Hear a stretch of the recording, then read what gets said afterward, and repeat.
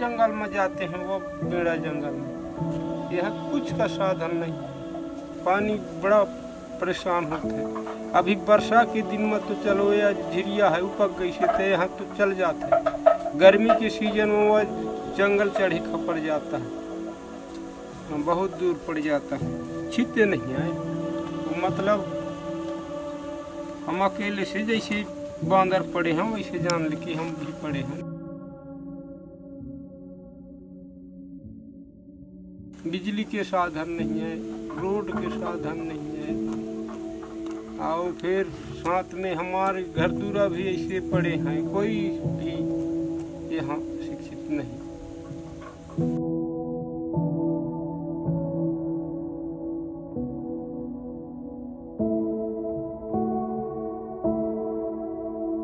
हम बन जाए से बहुत अच्छा कि, कुछ न कुछ।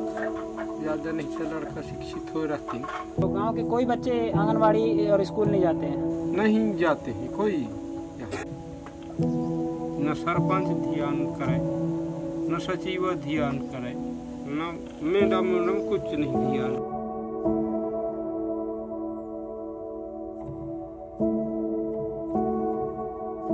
हमारे गाँव में एक ही लड़का पढ़ा है बाकी उसका कुछ वही नहीं लगता है न हमारे यहाँ कोई पढ़े नहीं है, एक ही है। कोई आते जाते तो देख रेख करते कि ऐसा वहाँ का लोग ऐसा खाते पीते हैं, ऐसा रहते हैं, ऐसा बसते हैं।